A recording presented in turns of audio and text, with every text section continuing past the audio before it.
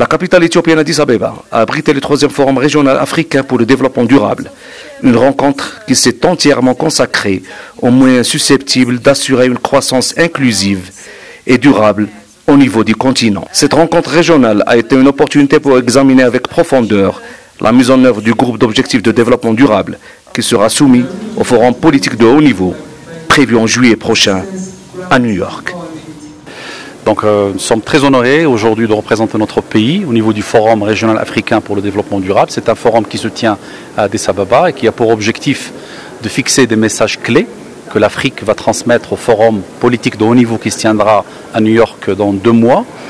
Euh, bien évidemment, c'était une occasion où le Maroc a présenté son expertise et son leadership en matière de développement durable. Nous avons été ravis de voir comment nos amis africains apprécient l'expertise et l'expérience marocaine. On a eu des sollicitations d'ailleurs très directes là-dessus, du Bénin par exemple, du RDC, d'autres pays, du Soudan. Et nous sommes également, nous avons été aussi ravis de voir que notre pays a franchi des étapes très intéressantes en matière d'intégration du développement durable dans son économie. La société civile marocaine été également présente lors de ce forum qui a bien voulu faire de la thématique de la croissance inclusive et durable son cheval de bataille. Donc en tant que société civile marocaine, euh, représentée par euh, euh, une représentante de la jeunesse des jeunes marocains. Aussi, moi aussi, je représente l'association nationale Al-Hidn du Maroc à Casablanca. nous avons pu organiser des ateliers en six groupes pour discuter et débattre sur six ODD, c'est-à-dire six objectifs durables. Le Forum régional africain pour le développement durable, qui devrait aboutir à une feuille de route pour défendre les intérêts du continent lors des assises de New York, s'est érigé en une tribune pour envoyer des messages clés en vue de parvenir à l'élimination de la pauvreté et la promotion de la prospérité, la réalisation de l'égalité des sexes, mais aussi de l'autonomisation des femmes. Donc ce forum a été très important pour nous en tant que euh, la communauté économique pour l'Afrique euh, des Nations Unies.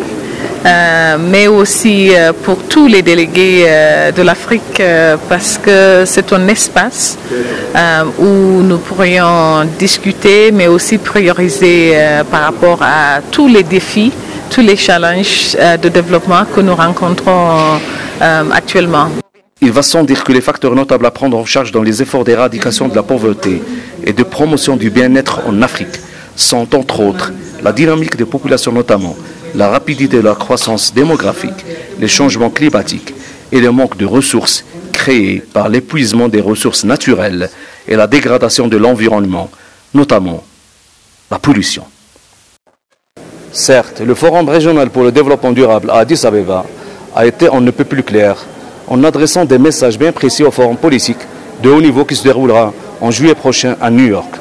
Des messages qui appellent entre autres à l'élimination de la pauvreté en Afrique, à la promotion de la prospérité, à l'autonomisation des femmes ou encore à la prise en charge des jeunes dans la planification et la mise en œuvre du développement. Hicham Alaoui, Midi 1 TV, Addis Abeba.